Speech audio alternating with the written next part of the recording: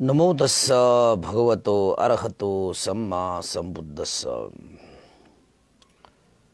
नमामि बुद्धं गुणसागरन्तं नमामि धम्मं सुगतेन देशितं नमामि सङ्गं मुनिराजसावकम्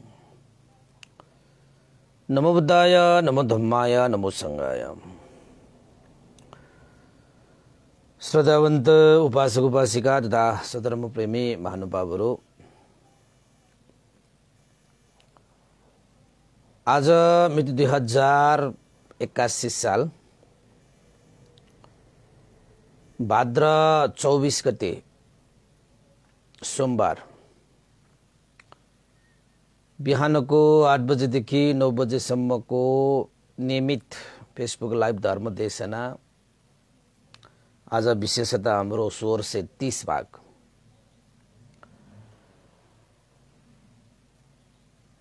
र हरेक दिन जस्तै आज पनि धर्मदेशना श्रवण गराउनको निमित्त फेसबुक लाइभमा जोडिरहनु हुने सम्पूर्ण श्रद्धावन्त उपासक उपासिकाहरूमा मङ्गल मैत्री कामना पनि व्यक्त गर्न चाहन्छु। त आज धर्मदेशनाको क्रममा हामी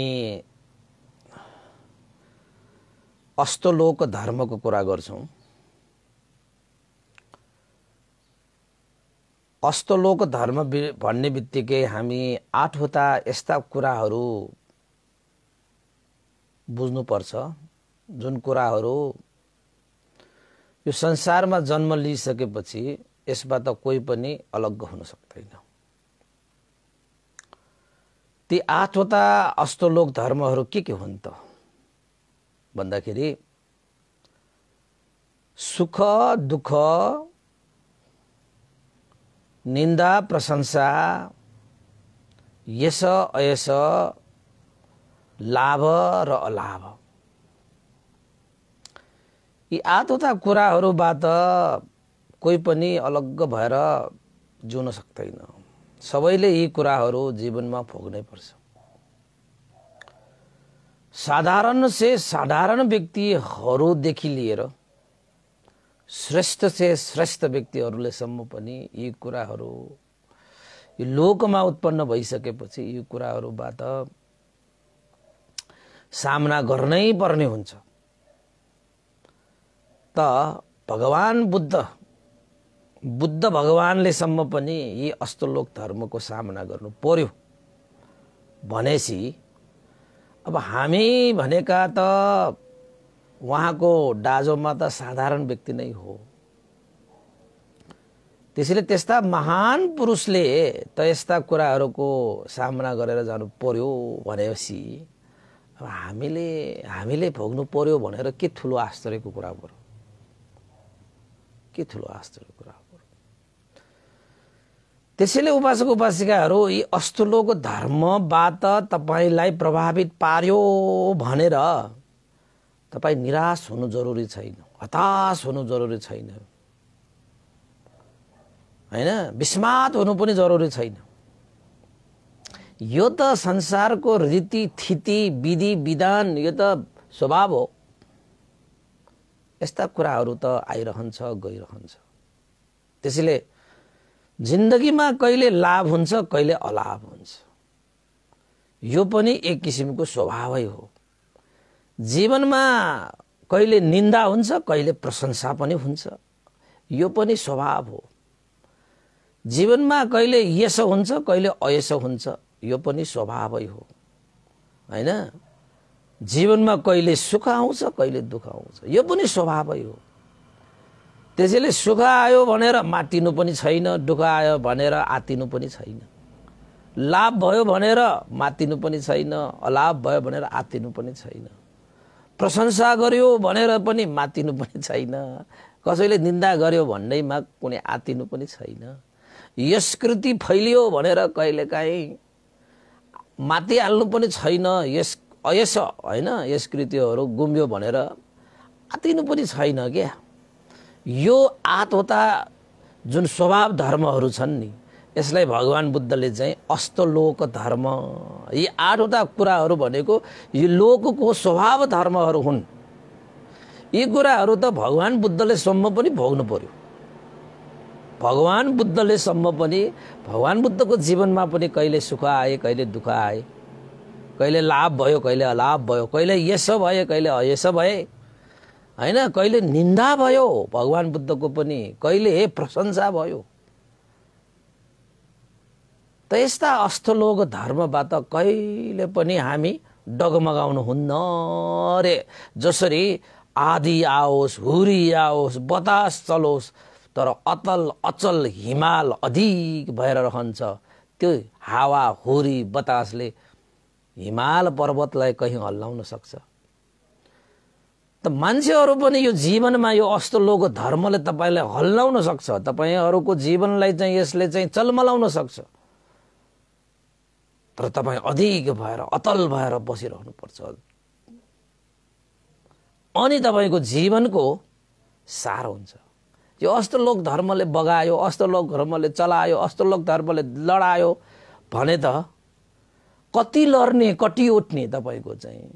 हाम्रो जीवनमा तपाईँकै जीवनमा हेर्नुहोस् न। कति दुःख आयो होला। सदा सर्वदा त्यो दुःख रहिरह्यो त। रहिरहँदैन नि। त्यो दुःख पनि सकिन्छ। अवश्य सकिन्छ उपासक उपासक धैर्य गर्नुपर्छ सहनशील भएर हिँड्नुपर्छ होइन? परिश्रम मेहनत गर्दै अघि बढ्नुपर्छ जस्तो सुखै दुःखबाट पनि तपाईँ मुक्त भएर जान सक्नुहुन्छ।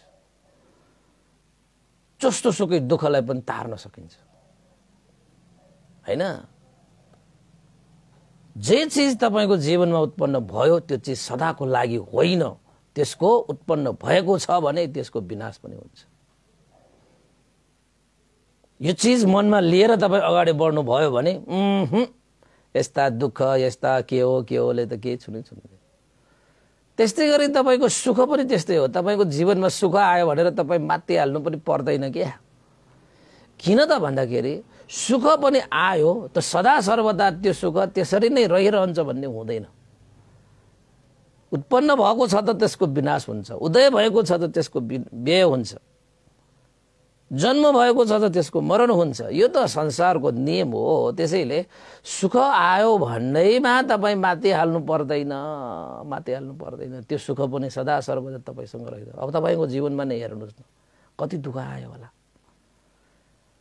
तपाईँले धैर्य नगरेको भए सहनशीलता सहनशील गुणधर्म तपाईँले विकास नगर्नु भएको भए त्यो दुःखबाट तपाईँ तर्नुहुन्थ्यो र? होइन?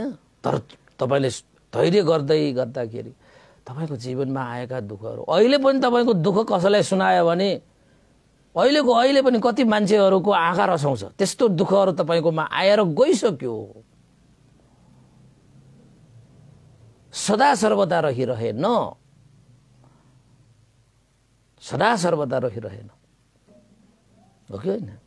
तपाईँको जीवनमा कहिलेकाहीँ सुख आएको छ त्यो सुख अरूलाई सुनाउँदाखेरि हर्षको आँसु पनि झऱ्यो होला। तपाईँको सुखलाई चाहिँ त्यो सुनाउँदाखेरि। ती सुखहरू आएर गइसके। होइन? स्थिर शाश्वत नित्य भनेको यो संसारमा के पनि छैन। के पनि छैन। त्यसैले सुख दुःख भनेको पनि यो जीवनमा आइरहन्छ गइरहन्छ आइरहन्छ गइरहन्छ।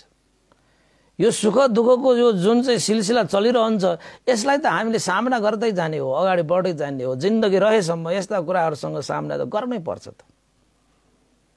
गर्नै पर्छ त। त्यसरी नै तपाईँको चाहिँ जीवनमा चाहिँ यो निन्दा र प्रशंसा भन्ने पनि हुन्छ। होइन? तपाईँको जीवनमा कति निन्दाहरू भयो होला? प्रशंसै प्रशंसा भएको व्यक्तिहरू प्रशंसै प्रशंसा मात्रै पाएका व्यक्तिहरू न पहिला थिए न अहिले हुन्छ न पछि नै हुन्छ।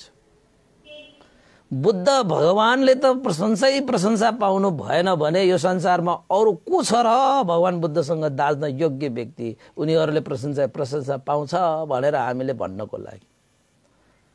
बुद्ध भगवान्ले त प्रशंसा प्रशंसा पाउनु भएन। उहाँले त निन्दालाई खेप्नु पर्यो। निन्दालाई सहनु पर्यो। निन्दासँग मुकाबला गर्नु पर्यो भने अब हामी त के हो?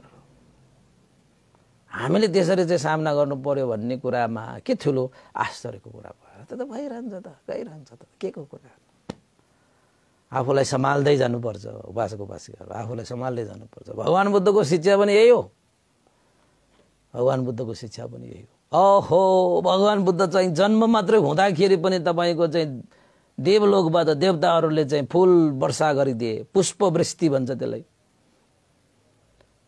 भगवान् बुद्धको क्या प्रशंसा गरे क्या तपाईँको चाहिँ बुद्धत्व प्राप्त गर्नुभयो? क्या प्रशंसा गरे? भगवान् बुद्धलाई प्रशंसा नगर्ने यो त्रिलोकमा कोही पनि छैन। तर त्यस्तो बुद्ध भगवान्लाई पनि निन्दा गर्ने मान्छेहरू पनि आए नि त। होइन? यो संसार हो यो लोक हो यसमा त निन्दा सहनु नपर्ने व्यक्ति कोही पनि हुने हुँदैन। किन भन्दाखेरि संसारमा सबै ज्ञानी कहाँ हुन्छ र? होइन र? दिन भए जस्तो रात पनि हुन्छ नि त यो लोकमा। दिनै दिन कहाँ हुन्छ र रातै रात कहाँ हुन्छ र तपाईँ दिन पनि बित्छ रात पनि बित्छ। यो सिलसिला त चलिरहन्छ। दिनमा गर्नुपर्ने काम दिनमै गर्ने रातमा गर्नुपर्ने काम रातमै गर्ने। त्यो समयअनुसार हामी हिँड्नु सक्नु पऱ्यो त्यसैले उपासक उपासकहरू आज तपाईँहरूलाई चाहिँ अलिकति म यो अस्तो लोक धर्मको हो यो निन्दा र प्रशंसाको कुरा गर्दैछौँ हामी होइन?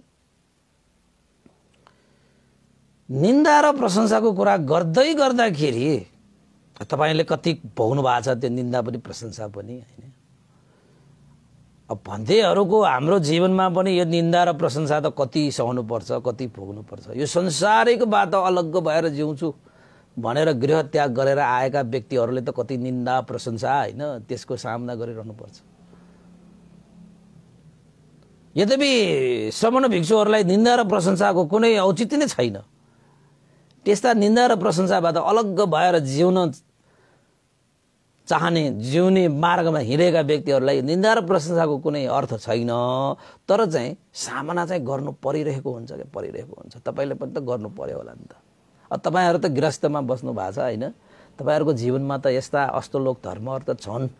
अति तपाईँको भोग्नु पर्ने हुन्छ। हामी अब भिक्षुहरूले त भोग्नु परिरहेको हुन्छ भनेपछि अब तपाईँको कुरा छोड्नुहोस् होइन? अब हामी भिक्षुहरूले के कुरा? बुद्ध भगवान्ले भोग्नु पर्यो भन्दैछु। तपाईँहरूको लागि सुनाउँदैछु त। त्यो ठुलो कुरा होइन। तर आज तपाईँहरूलाई चाहिँ जुन यो निन्दा भन्ने छ नि त्यो क्रिटिसाइज गर्ने होइन निन्दा गर्ने होइन तपाईँको चाहिँ खेडो खन्ने यो चाहिँ कार्यहरू चाहिँ छ नि। यो मान्छेहरूलाई चाहिँ यस्ता कार्यहरूमा बडा रुचि हुन्छ क्या तपाईँको? बडा रुचि हुन्छ। राम्रो काममा असल कुरामा होइन अनि चाहिँ यो मङ्गल कल्याण यस्ता कुराहरू कामहरूमा खासै त्यसो दिलचस्पी चाहिँ अलिकति हुँदैन तपाईँको गाह्रै हुन्छ त्यस्ता चिजहरूमा। यो मन चाहिँ त्यसमा लगाउनुको निमित्त। अनि यो मन भनेको चाहिँ कस्तोमा रमाउँछ त भन्दाखेरि निन्दा गर्ने खेदो खेल्ने अकुशलहरूमा नराम्रो यस्ता यस्ता कुराहरूमा भने च्याप्पै समाइहाल्छ क्या यो मनलाई। यो मनको स्वभाव हो हामीले यो कुरालाई जानिएन भने त यो मनले तपाईँलाई दास बनाइहाल्छ कि? मनले भने भने जस्तो तपाईँ गर्दै जाने हो भने मनले तपाईँलाई कहिले पनि सुखमा पुर्याउँदैन दुःखमै पुर्याइदिन्छ त्यसले। होइन? मनले तपाईँले कुशलमा पुर्याउँदै पुर्याउँदैन तपाईँले मनले तपाईँलाई अकुशलमै पुर्याइदिन्छ। त्यसले मनले भने जस्तो गर्ने होइन। मनले भने जस्तो गरियो भने त तपाईँ मनको दास बनेर हिँड्नुपर्ने हुन्छ। मनको मालिक बनेर हिँड्नुपर्छ तपाईँ। मनलाई आफूले भने जस्तो राख्न सक्नुपर्छ। भगवान् बुद्धको शिक्षा है भगवान् बुद्धको शिक्षा। तपाईँको मनमा त के आउँछ र? राम्रो भन्दा नराम्रो कति आउँछ? कुशल भन्दा अकुशल कति उत्पन्न हुन्छ? तपाईँ हामीलाई त अनुभव गरेको विषय भन् त। तपाईँ एक दिनको विषयमा एक घन्टा मात्र ध्यान बस्नुहोस् न। होइन? आफूले आफूलाई हेर्ने अभ्यास हो नि त ध्यान बनेको होइन? मेरो मनले साँच्चै भन्ने हो भने राम्रो कुरामा मलाई लान खोजिरहेको चाहिँ नराम्रो कुरामा लान खोजिरहेको छ। यो मनमा राम्रा कुराहरू बढी उत्पन्न हुन्छ कि नराम्रा कुराहरू बढी उत्पन्न हुन्छ? यसो एक चाहिँ तपाईँ ध्यानमा बसेर तपाईँले आफैलाई आफूलाई एकचोटि हेर्नुहोस् त। यदि तपाईँले आफ्नो मनमा उत्पन्न भएका विषयहरू राम्रो कि नराम्रो छ तपाईँले छुट्याउन सक्नु भएन कुशल कि अकुशल छुट्याउन सक्नु भएन भने सर्वज्ञ तथागत भगवान् शास्त्रले यो राम्रो यो नराम्रो यो कुशल यो अकुशल भनेर छुट्याइराख्नु भएको छ नि त। यो धर्म यो पाप यो पुण्य यो भनेर अधर्म भनेर छुट्याउनु भएको छ नि त।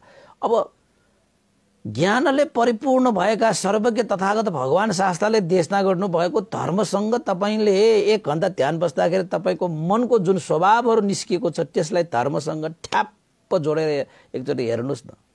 त्यो धर्मको थासामा राखेर तपाईँले साँचोमा राखेर हेर्नुहोस् त। कति मेल खान्छ कति मेल खाँदैन। त्यहाँ अब थाहा भइहाल्छ नि त। ए म एक घन्टा ध्यान बसेको यो एक घन्टामा त मेरो मनमा त यसरी चाहिँ अकुशलहरू उत्पन्न हुँदैछ त होइन राम्रोभन्दा नराम्रोमा यसरी मन दुल्दो रहेछ त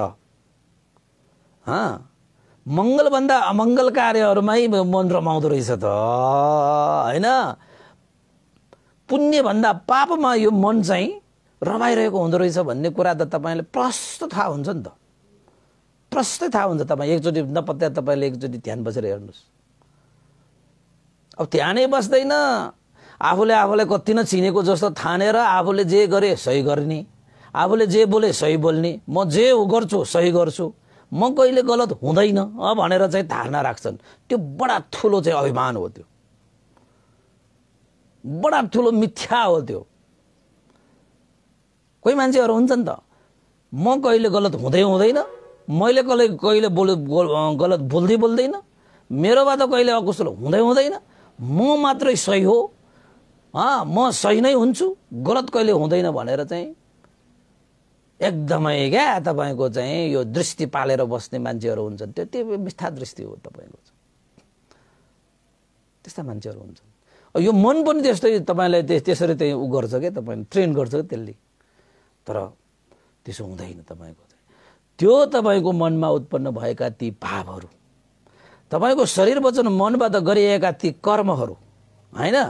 त्यो चिजलाई तपाईँले भगवान् बुद्धको धर्मसँग एकचोटि साँचोमा राखेर हेर्नुहोस् कतिको ठ्याक्क मिल्छ मिल्दैन थप्नुपर्छ कि कताउनु पर्छ कि अनि मात्र हुन्छ नि त होइन? अब तपाईँ आफैले आफूलाई चाहिँ जजमेन्ट गरेर आफूले आफूलाई जजमेन्ट गर्यो भने त राम्रै जजमेन्ट गर्ला कुशलै जजमेन्ट गर्ला नि त। होइन? तर वास्तवमा के हो त भन्दाखेरि सही मानेमा तपाईँले राम्रोसँग आफूलाई जान्ने हो भने आफूलाई बुझ्ने हो भने आफूलाई चिन्ने हो भने तपाईँले सत्यपत्थान विपसना भावना त गर्नै पर्छ। किन? यो विपसना भावना भनेको आफूले आफूलाई चिन्ने अभ्यास हो आफूले आफूलाई जान्ने आफूले आफूलाई बुझ्ने अभ्यास हो। यो मनको स्वभावलाई जान्ने यो शरीरको स्वभावलाई जान्ने शरीर र मनमा उत्पन्न हुने वेदनाको स्वभावलाई जान्ने शरीर र मनको त्यो स्वभाव धर्मलाई जान्ने साधना हो नि त विपसना भनेको त। त्यसैले उपासक उपासिकाहरू विपसना गर्नुहोस् आफूले आफूलाई चिन्नुहोस् विपसना गर्नुहोस् आफूले आफूलाई बुझ्नुहोस् आफूले आफूलाई जान्नुहोस् म के हो? मेरो के हो? म र मेरो भनिरहेका हुन्छौँ नि हामी। वास्तवमा यो म के हो र मेरो के हो भन्ने कुरा तब मात्र स्पष्ट हुन्छ। यो शरीर के हो यो मन के हो त्यो पनि प्रश्न हुन्छ। त हाम्रो यो मन केमा रमाउँछ बढी त भन्दाखेरि अकुशलमा बढी रमाउँछ। पाप कर्ममा बढी रमाउँछ। राम्रो भन्दा नराम्रोमै रमाउँछ यो यो मन।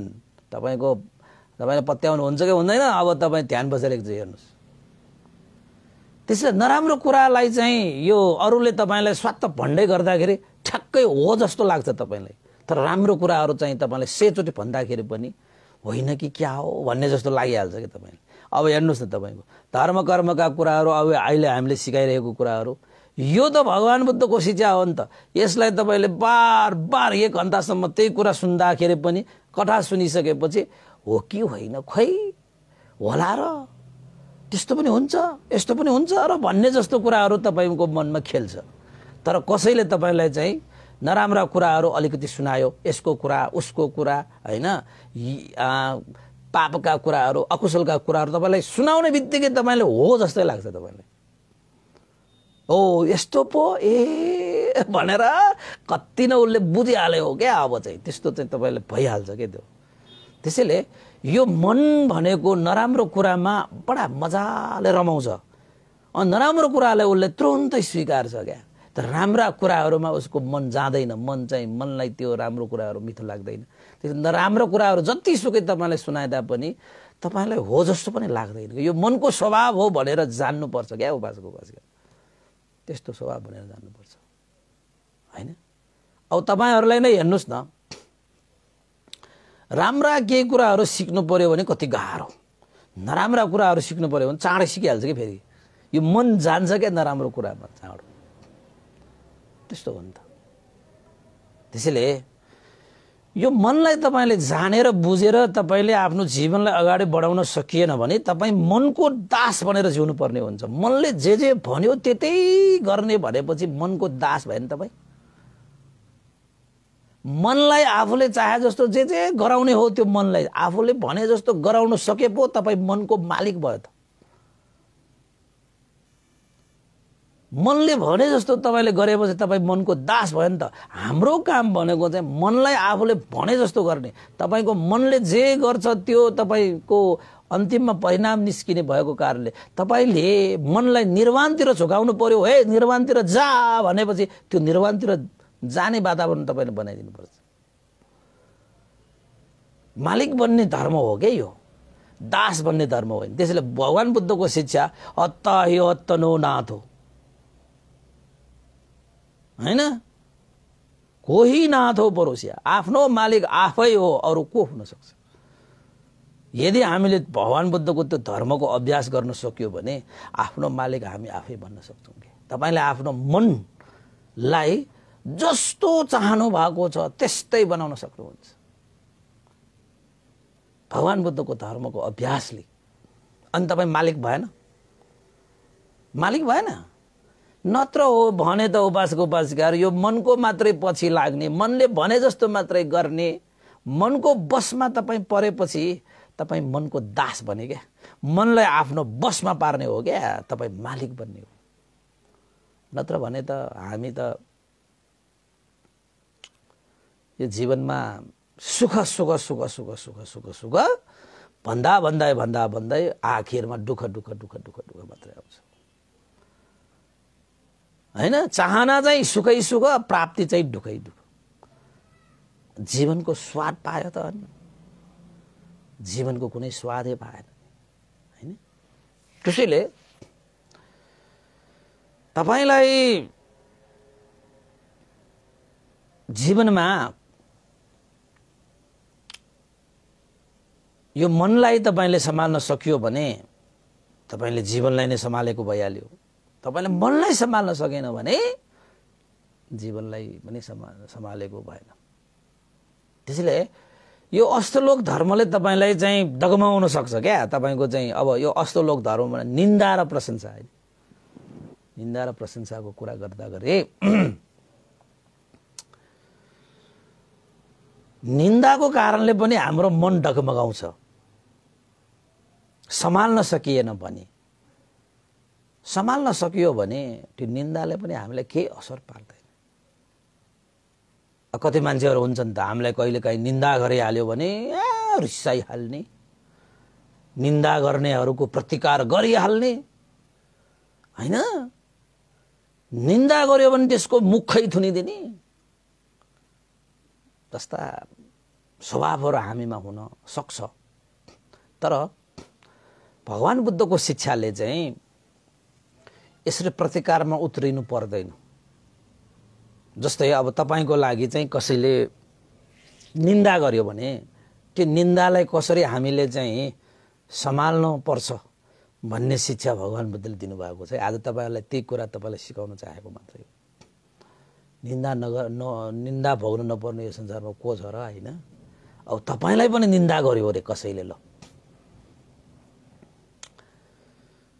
भगवान् बुद्धको शिक्षाले पनि हामीलाई के सिकाउँछ त भन्दाखेरि निन्दा भनेको मान्छेहरू तिन प्रकारले निन्दा गर्ने मान्छेहरू हुन्छ तपाईँको जीवनमा। तिन प्रकारका मान्छेहरू हुन्छन् निन्दा गर्ने मान्छेहरू। कस्ता प्रकार एक प्रकारको मान्छे जसले तपाईँको निन्दा गर्छ त्यो कस्तो प्रकारको मान्छे हो त भन्दाखेरि तपाईँलाई तथा नाम गाली गर्छ तपाईँको खेदो खन्छ तपाईँको निन्दा गर्छ तपाईँले ना नराम्रो दृष्टिले कुरा गर्छ कुरा काट्छ नराम्रो दृष्टिले हेर्छ होइन?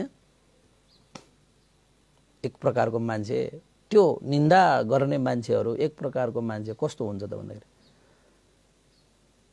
तपाईँलाई सही मानेमा नजानेको नबुझेको नचिनेको कारणले तपाईँलाई निन्दा गरेको। एक थरीको मान्छे हुन्छ। तपाईँलाई निन्दा गर्ने मान्छे मध्येमा एक थरीको मान्छे कस्तो हुन्छ? तपाईँलाई नजानेर नबुझेर नचिनेको कारणले गर्दाखेरि तपाईँलाई निन्दा गरिरहेको हुन्छ।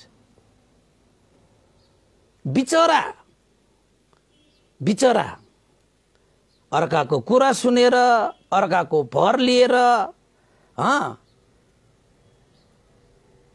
अरूप्रति नै विश्वास गरेर होइन तपाईँलाई उसले चिनेको छैन तपाईँलाई उसले जानेको छैन तपाईँलाई उसले बुझेको पनि छैन। तर लै लैमा लागेर होइन अज्ञानतामा नबुझेर अबुझ भएको कारणले गर्दाखेरि तपाईँको निन्दा गरिरहेको हुन्छ। एक थरीको मान्छे हुन्छ निन्दाको भिडमा एक थरी एक थरीको मान्छेहरू यस्तो हुन्छ। सही मानेमा तपाईँ के हो कसो हो तपाईँले त्यो निन्दा गर्ने काम गरेकै हो कि होइन? निन्दा गर्नु पर्छ कि पर्दैन केही थाहा छैन केही थाहा छैन उसले सुन्यो अरूप्रति विश्वास गर्यो अरूले भनेको कुरालाई मान्यो तपाईँलाई चिन्नु पनि छैन तपाईँले जान्नु पनि छैन तपाईँलाई बुझ्नु पनि छैन तर एको हो र हो त्यसले निन्दा गरिरहेको छ गरिरहेको छ डरिरहेको छ खेरो खनिरहेको छ खनिरहेको छ गाली गरिरहेको छ गरिरहेको छ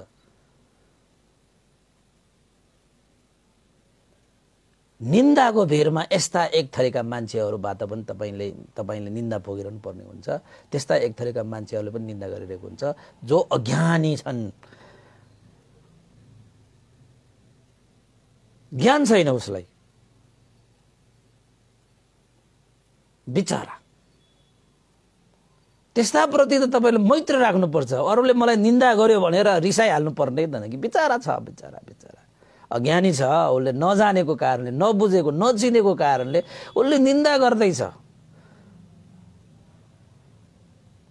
अज्ञानताको कारणले बिचरा ज्ञान आओस्।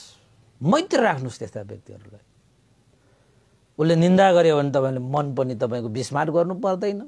उसले निन्दा गर्यो भने उसप्रति तपाईँले द्वेष पनि राख्नु पर्दैन। किन उसले निन्दा गरिरहेको छ? अज्ञानताको कारणले। अज्ञानीप्रति के को द्वेष राख्ने? मैत्री पो राख्ने त अज्ञानीमाथि तपाईँले द्वेष राख्ने हो र? कुनै द्वेष राख्नु पर्दैन। यस्ता एक थरीका व्यक्तिहरू हुन्छन् जो अज्ञानतामा परेर तपाईँको निन्दा गरिरहेको हुन्छ। होइन? त्यसैले निन्दालाई चाहिँ हामीले चाहिँ सम्हाल्दै जाने यस्ता शिक्षाहरू के?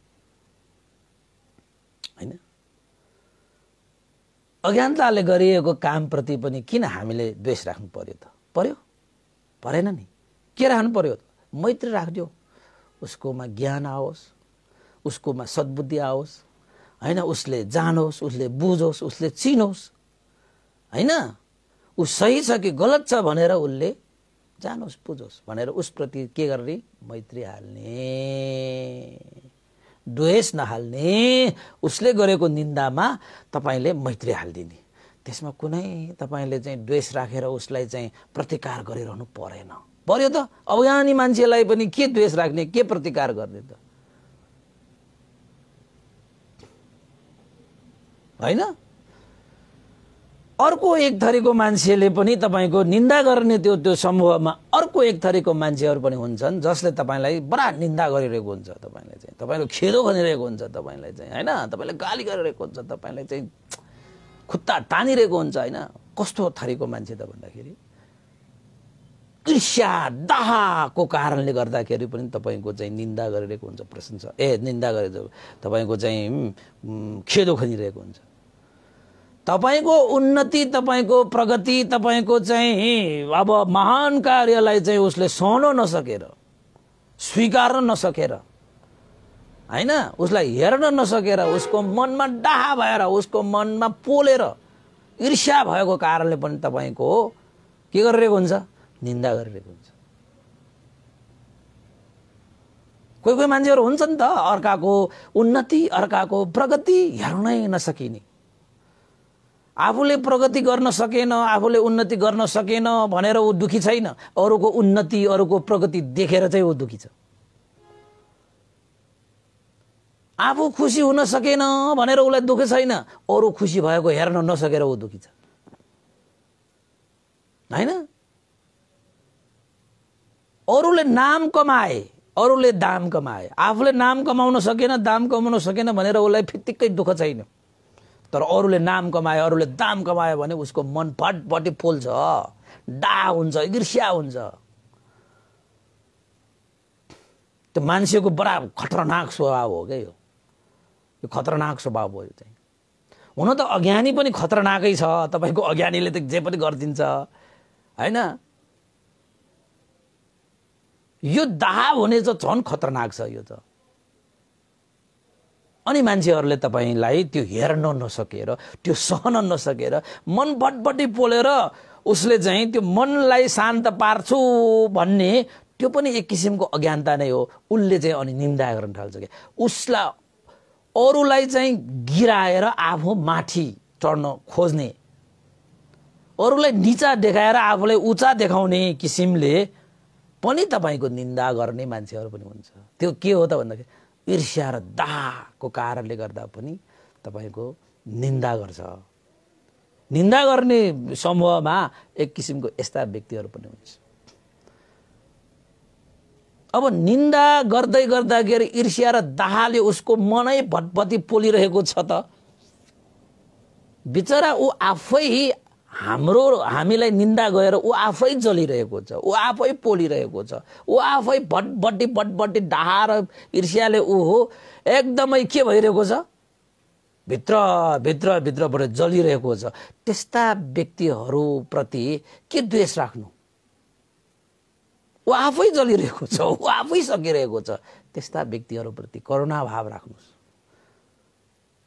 उसले जुन चाहिँ ईर्ष्या गरेर दाह गरेर जुन चाहिँ दुःख भोगिरहेको छ त्यो दुःखबाट ऊ मुक्त भएर जाओस्।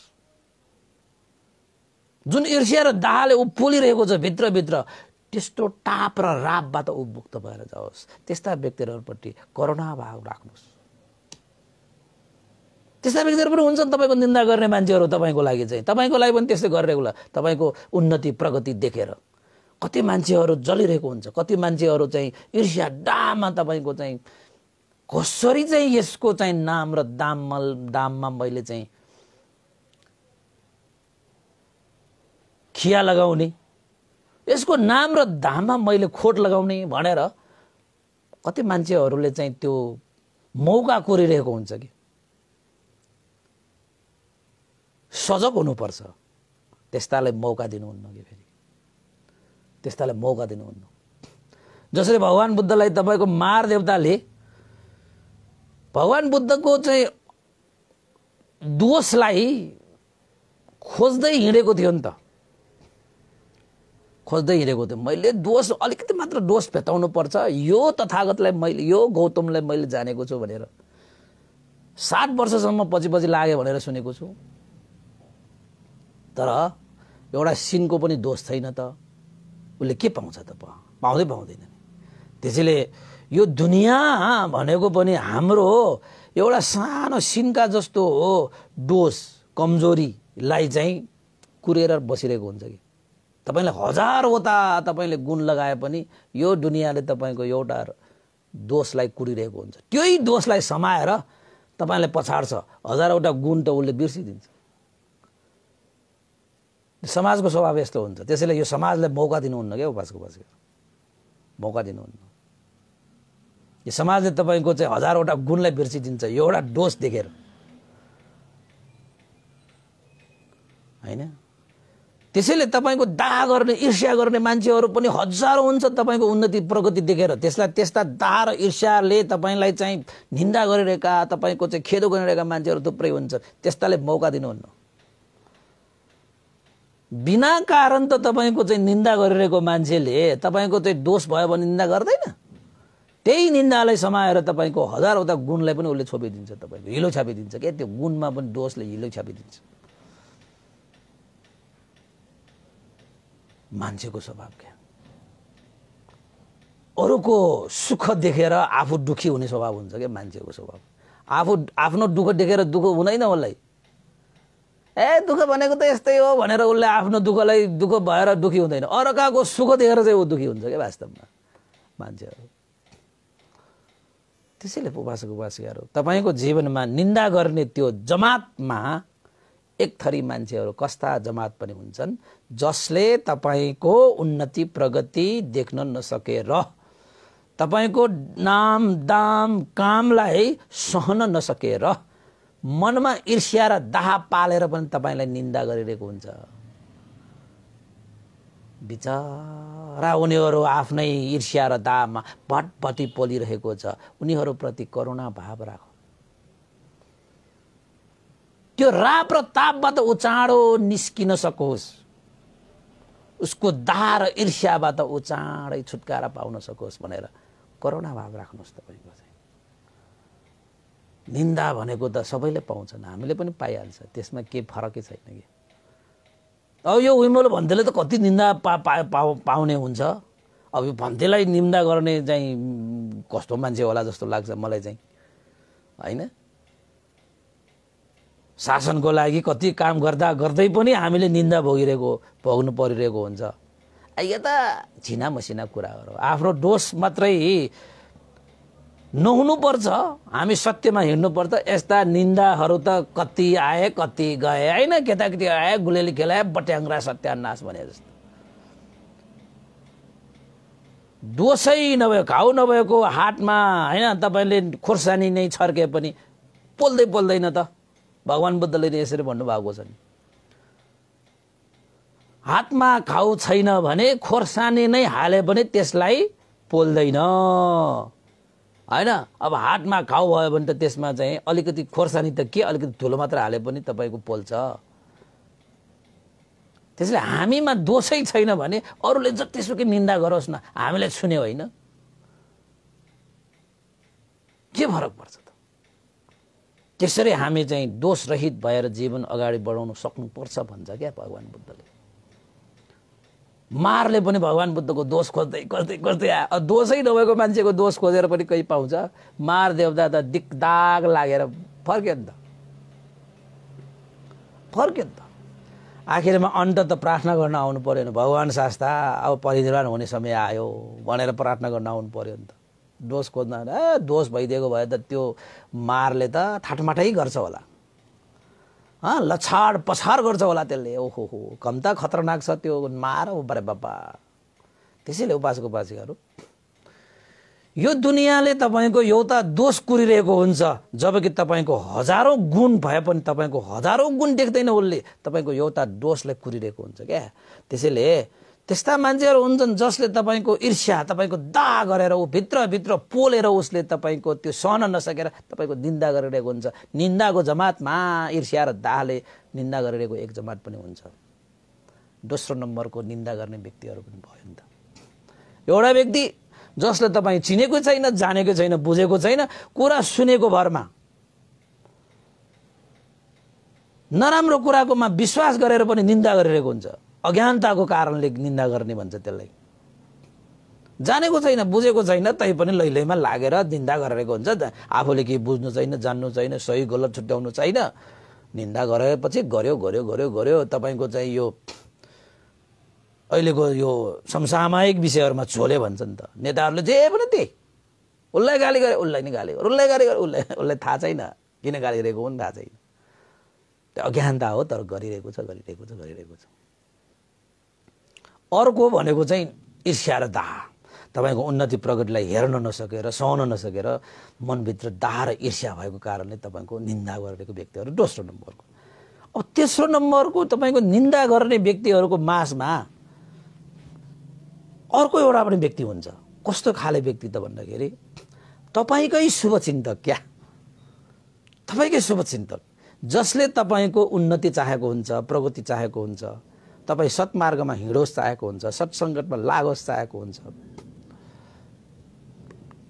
होइन? उसलाई थाहा छ तपाईँसँग हजारौँ गुण छ तर तपाईँ दोष दोष एउटा सानो दोषमा तपाईँ हिँड्नु भएको छ भने त्यस्ता व्यक्तिले त दोषबाट तपाईँलाई अलग्याएर तपाईँको हजारौँ गुणलाई चाहिँ वृद्धि गर्नको निमित्त एउटा शुभचिन्तक बनेर पनि तपाईँको निन्दा गरिरहेको हुन्छ कसै कसैले चाहिँ। है? त्यसरी निन्दा गर्ने पनि थरी थरीका छ क्या बाजेको बाजेको तपाईँलाई शुभचिन्तक बनेर होइन तपाईँलाई होस दिनको निमित्त तपाईँलाई दोषबाट मुक्त गर्नुको निमित्त तपाईँलाई हौसलित गर्नुको निमित्त तपाईँलाई जागृत गर्नको निमित्त त्यस्ता व्यक्तिहरू पनि हुन्छन् जसले तपाईँले निन्दा गर्छ। ती व्यक्तिहरू भनेका तपाईँका शुभचिन्तकहरू हुन्। त्यस्ता त्यस्ता व्यक्तिहरूको निन्दाप्रति के को द्वेष? के को मन दुखाउनु? साधुवाद दिनुहोस्। साधु साधु। तपाईँले मेरो दोषलाई औँलाइदिनु भयो तपाईँ त मेरो कल्याण मित्र। जसले हाम्रो दोष देखाइदिन्छ गाडेको धनको गाग्री देखाइदिएको मान्छे जस्तै हो अरे क्या तपाईँको। होइन? आफ्नो दोष देखाइदिने जसले हामीलाई आफ्नो दोषबाट उठ उठ्नको निमित्त अवसर दिए। होइन? आफ्नो आफूमा भएका गुणहरूलाई विकास गर्नको निमित्त जागृत गरिदिए। उसले गरेको निन्दा त सही हो भने त्यसलाई त स्वीकार्नु पर्छ गलत हो भने त कुनै अर्थै भएन। गलत हो भने त गलतको कुनै अर्थै छैन। सही हो भने त्यस्ता शुभचिन्तकले गरेको निन्दालाई पनि तपाईँले स्वीकार्न सक्नुपर्छ। त्यो निन्दा गर्ने जमातभित्र त्यस्ता व्यक्तिहरू पनि हुन्छ। त्यसै निन्दा गर्ने व्यक्तिहरू सबै तपाईँको गलतै हुन्छ भन्ने पनि छैन। है सही सबै सही हुन्छ भन्ने पनि होइन। निन्दा गर्ने मान्छेको कारणले गर्दाखेरि पनि तपाईँले आफ्नो दोषलाई निवारण गरेर तपाईँको गुणहरूको विकास गर्ने अवसरहरू हामीलाई दिन्छ। हो उसले कसरी निन्दा गरिरहेको छ? उसले तपाईँको दोषलाई साँच्चैकै देखाएर तपाईँको गुण वृद्धि गर्ने उद्देश्य राखेर तपाईँको निन्दा गरिरहेछ भने त्यो व्यक्ति तपाईँको शुभचिन्तक हो। तपाईँको कल्याण मित्र हो त्यो। कल्याण मित्र हो। होइन? जसले तपाईँको मित्र भनेर तपाईँको दोषलाई पनि गुण ठानेर तपाईँको दोष त्यो दोषलाई चाहिँ निरन्तरता दिनको निमित्त हौसलित गरिरहेको हुन्छ त्यस्ता मित्र तपाईँको वास्तविक शत्रु हो। जसलाई तपाईँले जसले तपाईँको निन्दा गरिरहेको हुन्छ मानव कि शत्रुले जस्तै निन्दा गरिरहेको हुन्छ तर उसको निन्दाले तपाईँको दोषलाई निवारण गरेर गुण विकास गर्ने अवसर तपाईँले दिइरहेको छ भने त्यो शत्रु जस्तै निन्दा गरिरहेको त्यो व्यक्ति पनि तपाईँको मित्र हो कि फेरि। तपाईँको त्यो मित्र हो। त्यसैले निन्दा गर्ने जमातमा तेस्रो प्रकारको मित्र यता तेस्रो प्रकारको निन्दा गर्ने व्यक्तिहरू कस्ता हुन्छन् त? तपाईँको शुभचिन्तक रूपी निन्दाकारहरू पनि हुँदो रहेछ। शुभचिन्तक रूपी निन् निन्दाकार।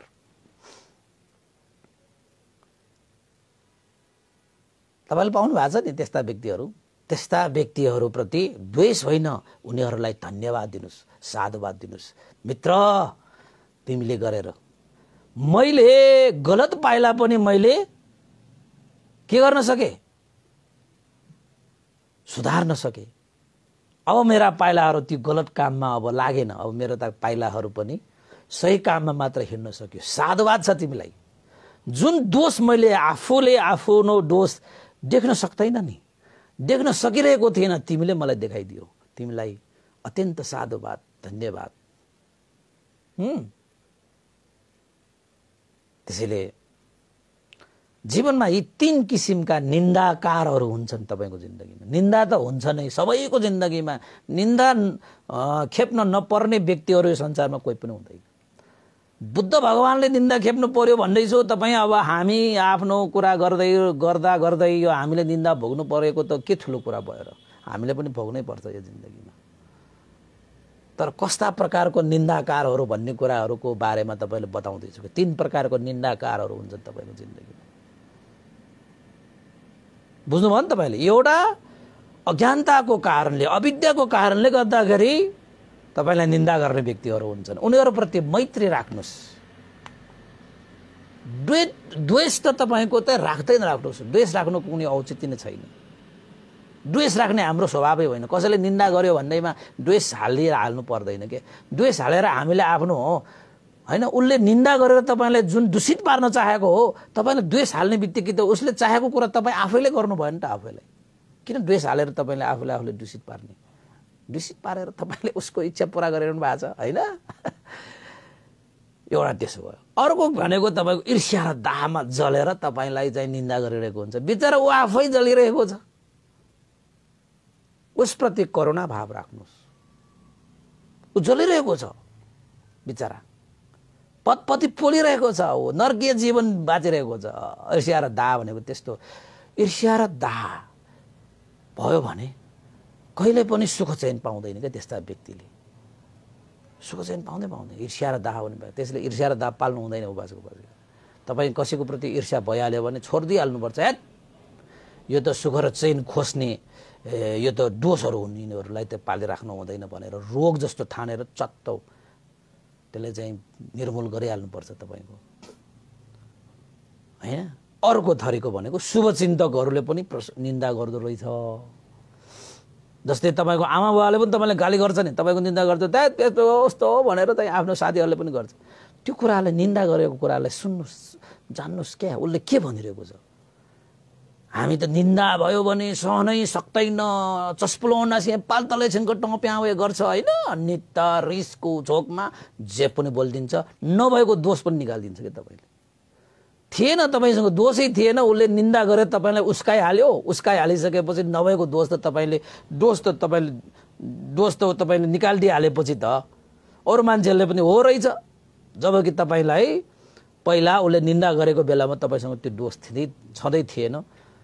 उसले उस्काएको कारणले तपाईँ रिसको कारणले जे पनि बोले जे पनि गरे जे पनि मनमा लियो अनि तपाईँ दो दोषले युक्त भयो ल अनि उसले उसको चाहिँ इच्छा पुरा भयो नि त। तपाईँले कसले इच्छा पुरा गरेको? उसले गरेको तपाईँ आफैले उसको इच्छा पुरा गर्दैछ। अनि त्यस्ता चाहिँ निन्दा गर्ने मान्छेको पनि इच्छा पुरा गर्ने। जसले तपाईँको होइन? जसले तपाईँलाई खाल्दोमा खसाल्न चाहेको छ अनि तपाईँ आफै खाल्दोमा खसिएपछि त उसको इच्छा पुरा भइहाल्यो नि। त्यस्ताको इच्छा पुरा गरेर पनि हुन्छ र। होइन? त्यसैले कसैले निन्दा गर्छ भने त्यसलाई शान्त भएर त्यो निन्दा विषयमा अलिकति चिन्तन गर्नुहोस् मनन गर्नुहोस्। के भनिरहेको छ त्यसले? ए उसले अज्ञानतामा भनिरहेको छ। ए अज्ञानी रहेछ। अज्ञानीको कुरा के सुन्नु अज्ञानीले त जे पनि भन्छ। अज्ञानताको कारणले भनेको रहेछ वास्तै गर्नु परेन नि। उसले जानेकै छैन बुझेकै छैन उसले चिनेकै छैन भन्यो बिचरा। बिचरा भनेर छोडिदिनुहोस् तपाईँ। मैत्री हाल्नुहोस् सद्बुद्धि आओस् त्यसको भनेर। अब ईर्ष्या र दाहको बा बात चाहिँ तपाईँलाई निन्दा गरिरहेको छ त्यसलाई राम्रोसँग बुझ्नु। हे उसले त ईर्ष्या गरिरहेको छ दाह गरिरहेको छ। मेरो प्रगति मेरो उन्नति मेरो नाम दाम कामप्रति उसलाई ईर्ष्या भयो। बिचराले गर्न सकेन उसलाई ईर्ष्या भयो। ऊ आफै जलिरहेको छ। भित्रभित्र ऊ पोलिरहेको छ। बिचरा उसलाई करुणा भाव राख्नुहोस्। त्यो ईर्ष्या र दाहबाट ऊ मुक्त होस्। करुणा भाव राख्नुहोस् अर्को कुरा निन्दालाई अलिकति चिन्तन मनन गर्नुहोस्। उसले किन मलाई निन्दा गरिरहेको छ? निन्दा गर्दै गरिरहेको हो यो चाहिँ कमी छ मसँग। यो कमजोर छ मसँग। यो दोष चाहिँ मसँग रहेछ। यसले सही कुरा मलाई चाहिँ औँल्याइरहेको छ। जुन कुरा मैले देखिरहेको छैन उसले मलाई देखाइदियो। यो व्यक्ति सही छ। यसलाई साधुवाद दिनुपर्छ। मित्र तिमीलाई साधुवाद छ। तिमीलाई धन्यवाद छ। जुन कुरा मैले आफूले आफूमा देखिरहेको छैन कमी कमजोरी दोषहरू देखिरहेको छ तिमीले मलाई देखाइदियो। तिमीप्रति म कृतज्ञ छु है ऋणी छु। तिमीले मेरो दोष देखाइदियो तिमीले मेरो कमी कमजोरी देखाइदियो। कमी कमजोरी दोषले तपाईँको जीवनलाई खस्काइदिन्छ नि। हजारौँ गुणलाई पनि त्यो कमी कमजोरीले के गरिदिन्छ? छोपिदिन्छ नि। किन? यो संसार यो समाजले भनेको त के गर्छ? तपाईँको हजारौँ गुण भए पनि हजारौँ गुण हेरेर तपाईँको तारिफ गर्नु छोड्छ क्या? तारिफ गर्दैन। तपाईँको एउटा सानो गल्ती भयो तपाईँको कमी कमजोरी भयो भने त्यही गल्ती र कमी कमजोरीलाई टेकेर तपाईँलाई चाहिँ विरोध गर्छ क्या? तपाईँको निन्दा गर्छ क्या? ए मित्र तिमीले मसँग भएको त्यो दोषलाई देखाइदियो। अब म त्यो दोष सुधार्छु। अब म कसैले मलाई चाहिँ अब निन्दा गर्ने अवसर म दिन्न। तिमीलाई साधुवाद छ मलाई होस दिलायो। भनेर तेस्रो प्रकारको त्यो निन्दाकारलाई त साधुवाद दिने हो धन्यवाद दिने हो। यसरी तपाईँले चाहिँ शान्त भएर कसैको निन्दालाई तपाईँले ग्रहण गरेर त्यसलाई चिन्तन मनन गरेर त्यसलाई चाहिँ तपाईँले फिल्टर गर्न सक्यो भने चाहिँ तपाईँको मनलाई चाहिँ निन्दाले तपाईँलाई कुनै प्रभाव पार्दैन कि? त्यो निन्दाले तपाईँलाई झन् हौसलित बनाउँछ कि? छन् हौसलित बनाउँछ क्या। अझै राम्रो अझै राम्रो अझै राम्रो हुनको निमित्त चाहिँ अब तपाईँलाई हौसलित पार्छ। अब अज्ञानी मान्छेले ज्ञान पायो भने त राम्रै हो। अब अब मान्छेले ज्ञान पाएन भने ऊ के ऊ ज्ञानी छ त उसको कर्मको फल उसले भोग्छ। तपाईँले जिम्मा लिनु पर्दैन। अब ईर्ष्या र दाह गर्ने मान्छेले होइन? तपाईँको चाहिँ दोषै नभएको गु गुणलाई नचिनेको मान्छेले ईर्ष्या र दाह गरेर चाहिँ उसले जहिले पनि निन्दा गरिरहेको छ भने ऊ आफै जलिरहेको छ त उसको कर्म भइरहेको हो। हामीलाई के को? वास्ता। हामीले जलाएको त होइन। ऊ आफैले आफूभित्र चाहिँ आगो जलाएर बस्छ त हाम्रो के दोष? होइन? अर्को एउटा तपाईँको चाहिँ शुभचिन्तक छ। त्यसलाई त साधुकार दिनुहोस्। उसको जे होस् उसको मङ्गल होस् कल्याण होस् पासा छ जित थयो या त कि जी थम ठगे महु डोस छ केना बेला छन् त यो यो साधु पासा छङ्गो जेजीमा छङ्गो पिएजीमा भनिदिनु पर्छ। सुहा गर्नु सुहा त दिनु पऱ्यो नि त। किन? तपाईँलाई उसले मङ्गल गरिरहेको छ कल्याण गरिरहेको छ क्या। जुन चिज तपाईँ आफूले आफूले गरेर नसकिरहेको छ उसले तपाईँलाई मङ्गल गरिरहेको छ उसले साधुवाद दिनु परेन। तपाईँको मन आनन्द शीतल शान्त हुन्छ क्या। कृतज्ञ भयो नि त ऋणी भयो नि पासा म तिम्रो ऋणी भएँ। कृतज्ञ छु है भनेर हात जोडेर उसलाई चाहिँ साधुवाद दिनुहोस् तपाईँले त्यस्ता निन्दाकारहरू पनि हुन्छ अरे भगवान् बुद्धले। त्यसैले निन्दा भन्दैमा गर्ने बित्तिकै तपाईँले चाहिँ यो चाहिँ तपाईँको चाहिँ सय डिग्रीको चाहिँ द्वेष निकालेर तपाईँले प्रतिकार गरिहाल्नु पर्दैन। चिन्तन गर्नुहोस् मनन गर्नुहोस्। उसले गरिरहेको निन्दा कस्तो प्रकारको हो? त्यही प्रकारको प्रतिक्रिया गर्नुहोस्। पहिलो प्रकारको अज्ञानताको कारणले गर्यो भने उसलाई मैत्री हालिदिनुहोस्। दोस्रो प्रकारको ईर्ष्या र दागको कारणले गर्यो भने करुणा हालिदिनुहोस्।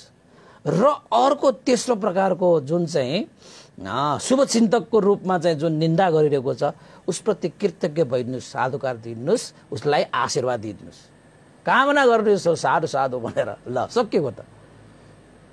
अरूले निन्दा गर्यो भनेर तपाईँ किन यो मनलाई तपाईँले चाहिँ फेरि फेरि खाका चुनीमा हो होइन? किन यो चलमलाए चलमला चलमलाइराख्नु परेको? डगमगाइराख्नु परेको। अरूले निन्दा गर्यो अब त म त खत्तम के को खत्तम? हातमा घाउ छैन उसले खोर्सानी राख्दैमा हाम्रो हातमा पोल्छ पोल्दैन नि। त्यो डराउनु पर पर्दैन। निन्दामा त कोही पनि डराउनु पर्दैन। तपाईँ सही मात्र हुनुपर्छ। जसले जतिसुकै निन्दा गरोस् उसलाई तपाईँले जवाब दिइरहनु पर्दैन। मुखले जवाब दिनु होइन उपासक उपासिकाहरू भने त्यसले जहिले पनि भन्ने गरेको छु। कसरी तपाईँलाई निन्दा गर्यो तपाईँको कुरो खेद्यो भने मुखले जवाब दिइरहनु हो। उसलाई त कामले जवाब दिने हो। तिमीले जुन व्यक्तिलाई चाहिँ निन्दा गरिरहेको छ नि हेर। मुखले होइन तिमीले चाहिँ मेरो काम हेर। होइन? हाम्रो कामले जवाब दिइसकेपछि ऊ तापले आँखा आँखाबाट आँसु डर डर डर डर झारेर अन्तिममा हाम्रो पाउ समाएर उसले क्षमा माग्न आउने हो। त्यसैले मुखबाट तपाईँको जवाब दियो भने त्यसमा लफडा हुन्छ। त्यसले कामले जवाफ दिनुपर्छ। भन्छ। क्या भगवान् बुद्धको शिक्षाले? त्यसैले हामीले पनि कसैले निन्दा गर्छ भने त्यसलाई मुखले जवाफ होइन कामले जवाफ दिने हो। कामले जवाफ दिने हो। ल त उपासेर आजको लागि यति नै गरौँ। है नौ पनि बज्यो है। र आजको हाम्रो अस्तलोक धर्मको यो निन्दाको विषयमा तपाईँहरूलाई चाहिँ यो भगवान् बुद्धको शिक्षा अन्तर्गत रहेको रहेर यो चाहिँ निन्दाको विषयमा अलिकति तपाईँलाई मैले व्याख्या गरिदिएँ है जानेको बुझेको अनुसार होइन? यसरी छ छ है उपासक उपासिकाहरू भनेर चाहिँ। मलाई त यो पुरा मजा लाग्छ कि यो कटासटाहरू भन्नुभन्दा यस्ता कुराहरू भन्नमा चाहिँ मलाई मलाई मजा चाहिँ मजा लाग्छ होइन? र आज तपाईँहरूले सुनाएले तपाईँहरूले पनि यही कुरालाई जानेर बुझेर आफ्नो जीवनमा अनुसरण गर्नुहोस् तपाईँको जीवनमा सुख चयन मिल्छ। सुख चयन मिल्छ। ल त है। र अन्तमा अब बसेको बासिकाहरू अब साधु अनुमोदन गर्ने क्रममा आज चाहिँ विशेषतः हाम्रो यो एकजना उपासिका हुनुहुन्छ।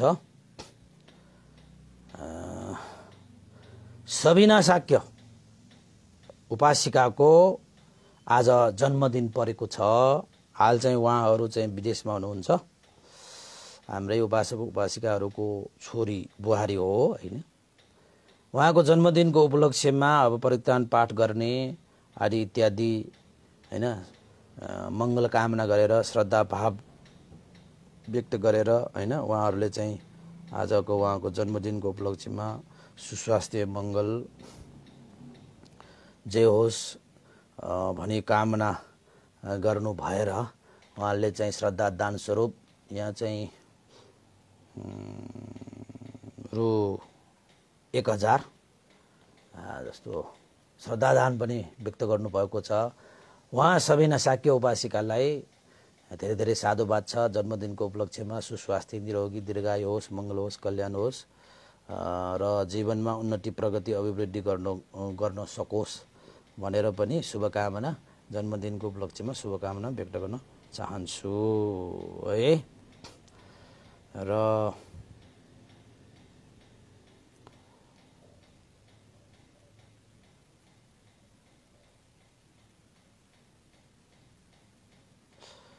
ल त आज चाहिँ यति नै गरौँ है बासो गरेर के टुटफुट भइरहेको भयो भने त्यसलाई चाहिँ अवश्य पनि खबर गर्नुहोला। र कहिलेकाहीँ यो चाहिँ मेसेन्जरमा पठाइएका कुराहरू होइन यो छुट्न सक्छ क्या? त्यसैले चाहिँ तपाईँहरूले चाहिँ यो त्रिबोधी विपसना ध्यान केन्द्रको लागि तपाईँहरूको मासिक सदस्यता धर्मदान तपाईँले गरिरहनु भएको छ। कसैको चाहिँ यो छुटेको छ भने पनि त भन्दैलाई खबर गर्नुहोला। हामीले चाहिँ त्यसलाई अनुमोदन गरेर साधु अनुमोदन त गरिहाल्छौँ होइन? हिजो पनि मैले धेरैको गरेँ जस्तो लाग्छ अहिले र त्रिवेदी विपसना ध्यान केन्द्रको सन्दर्भमा हाम्रो कामहरू चाहिँ अहिले अगाडि बढिरहेको छ। फिनिसिङ कार्य जहाँ चाहिँ अब ध्यान शिविरहरू सञ्चालन गरेर उपासक उपासिकाहरूलाई ज्ञान र ध्यान दिने हाम्रो उद्देश्य पनि परिपूर्ति होस् र बिस्तारै त्यो चाहिँ हाम्रो ध्यान केन्द्र पनि माथि होइन चढ्दै जान्छ बढ्दै जान्छ होइन? र सुख सुविधाहरू पनि हाम्रा चाहिँ आजकालका उपासक उपासिकाहरूको अब आयुहरू पनि बढिसकेको स्वास्थ्य पनि अब अलिकति कमजोर होइन अनि चाहिँ हात खुट्टाहरू पनि अलिकति कमजोर भएका उपासक उपासिकाहरूले पनि ध्यान बस्न सकोस् होइन। अब कति मान्छे उपासक उपासिकाहरू त तपाईँको ध्यानै बस्न सकिरहेको हुँदैन खुट्टा पलेती कसेर बस्न सकिरहेको हुँदैन कोही मान्छे माथि चढ्न सकेको हुँदैन होइन तलै बस्नु परेको हुन्छ होइन त्यस्तै त्यस्तो अवस्थाहरूलाई पनि अलिकति नजर राखेर ध्यान राख्ने हामीले योजना बनाइरहेका छौँ उपासक उपासिकाहरू होइन? त्यसैले चाहिँ ध्यान शिविरहरू पनि सञ्चालन गर्दै जाने र ध्यान केन्द्र पनि निर्माण गर्दै जाने हाम्रो योजनालाई तपाईँहरूले साथ सहयोग दिइरहनु भएको छ। त्यसको लागि त मुरी मुरी साधुवाद छ है? देश विदेशका सम्पूर्ण दानी दाताहरू मनकारी दानी दाताहरू भन्छन्। मनैदेखि श्रद्धा राखेर दान गरेका व्यक्तिहरूले मनकारी दानी दाताहरू भन्छ कि? सबै दमनकारी दानी दादाहरूलाई चाहिँ मुरी मुरी साधुवाद छ। तपाईँहरूले अझै पनि हाम्रो कार्य निरन्तर अगाडि बढिरहेको छ। तपाईँहरूले चाहिँ अझै पनि साथ सहयोग दिनुहुनेछ भन्ने आशा एवं विश्वास पनि लिन चाहन्छु। र त्रिबोधी विवसना ध्यान केन्द्रमा विभिन्न तरिकाले तपाईँले साथ सहयोग दिन सक्नुहुन्छ होइन? तपाईँको आफ्नो नाममा आफ्नो छोराछोरीको नाममा आफ्नो विदेश जन्मेका आमाबाहरूको नाममा होइन? तपाईँहरूलाई चाहिँ यसो अहिले ध्यान केन्द्रको लागि एउटा ढोका बनिरहेको छ। त्यो ढोकाको पनि एउटा चाहिँ भिडियो खिचेर राखिदिउँ कि भन्ने जस्तो लागिरहेको छ होइन? ताकि तपाईँहरूले पनि बुझोस् कत्रो बनिरहेको छ भन्ने कुरा। होइन हाम्रो चाहिँ अब मूल ढोका पनि एकजना दाताहरूले त्यहाँ दान पनि गरिसकेको छ। तपाईँहरूको पनि त्यस्तै केही छ भने दान गर्न सक्नुहुन्छ ढोकाहरूको पनि। हामीले जो यो छ लाख राखेको छ। त्यो ढोका मात्रै छ लाखको होइन? अनि सानो दुई तिन तिन लाखको पनि छ होइन? तपाईँले चाहिँ त्यसरी चाहिँ राख्न सक्नुहुन्छ। त्यसको नाम त हाम्रो हुन्छ शिलापत्रमा होइन? त्यो भइहाल्छ। तपाईँले चाहिँ अब शौचालय कोठाहरू धम्म हलहरू होइन अनि ध्यान हलहरू होइन हरेक चिजहरू तपाईँको चाहिँ निर्माण कार्यमा के के चाहिन्छ भन्ने कुराहरू थुप्रै थाहा छ होइन। त्यसरी तपाईँको श्रद्धा छ आस्था छ भने त्यसरी पनि श्रद्धा आस्था तपाईँले चाहिँ व्यक्त गरेर पुण्य सञ्चित गरे पुण्यवान बन्न सक्नुहुन्छ। जीवनको हाम्रो आधार भरोसा भनेको पुण्य मात्रै हो। र यो पुण्यको कारणले गर्दाखेरि हामीलाई पनि कुशल मङ्गल हुन्छ। र हामीबाट हामी पछि आउने सन्ततिहरूलाई पनि कुशल मङ्गल हुन्छ। ध्यान केन्द्र भनेको त हामीले यो संसारलाई दिएर जाने हो नि त। होइन पछि त हामी त सदा सर्वदा रहँदैन। अहिले भन्ने पनि कति वर्ष भइसक्यो होइन? कति वर्ष बाँच्ला होइन? त्यो आफ्नै ठाउँमा छ। कति मान्छेलाई त फेरि भन्दै भन्दा पनि दोबर आयो भइसकेका मान्छेहरूलाई पनि अझै मर्दैन कि या मर्नै पर्दैन कि या मर्नु मर्नु पर्ने पनि बिर्सिएर बसिरहेका मान्छेहरू पनि होला नि होइन। त्यस्ता कुराहरू त गरेर साध्य छैन। कति मान्छेहरू हामी अहिलेदेखि नै एक दिन त मर्नुपर्छ है भन्ने कुरा होइन मनमा आइसक्यो भनेपछि। कति मान्छेहरू त तपाईँको सत्तरी असी वर्ष पुगि नागिसक्यो अझै पनि मर्नै पर्दैन कि मर्नै पर्छ भन्ने बिर्सिएर खालि यो संसारिक विषयवस्तुहरूमै बन्डनमै परेर अल्झिएर अहिलेसम्मै धर्म कर्म कथा हो कथा हो प्वाक्क अहिले नै मऱ्यो भने के गर्ने तपाईँको? लिएर जाने सम्पत्ति खोइ। जनाउने सम्पत्ति गो ल खर्च गो अले ध्वास्या भएन जिन्दगीमा त्यत्रो दुःख गऱ्यो कमायो यो गरे त्यो गरे अन्तिममा ध्वास्या भएन? त्यसैले बेलैमा अवसर आएको बेलामा होइन मनमा श्रद्धा जगाएर चाहिँ तपाईँले चाहिँ सक्ने क्या? नसक्ने होइन। सक्ने चिजहरू त गरिहाल्नुपर्छ क्या? या को पाएको क्या? गऱ्यो भने सक्यो क्या तपाईँको चाहिँ खेर जाँदैन तपाईँको। पुण्य भनेको खेर जाँदैन। तपाईँको चाहिँ कमाएको रगत पसिना बगाएर कमाएको सम्पत्तिहरू पोको मात्र पारिराख्यो भने खेर जान्छ तपाईँको। रगत पसिना खेर गएन। गयो नि त उपास यस्ता कुराहरूलाई पनि जान्नुपर्छ। है त अब अन्तमा पुण्यान्मन गरौँ। भोलि पर्सि अब हरेक कति अब वर्षौँसम्म हामी देशमा गर्दै जान्ने नै छौँ होइन? आज मात्रै सबै कुरा बटाएर के गर्ने र होइन? हट्नु पनि पऱ्यो नि त होइन? यहाँ त्यसैले आजलाई यति नै हटाइदिउँ होइन। कतिको त कतिको त पोख्यो पनि होला होइन? त्यो पोखेको चिजलाई छोड्नुहोस् भोलि अर्कै लिने हो। त्यो पोखेकोलाई फेरि जम्मा गरेर राख्नु पर्दैन है त?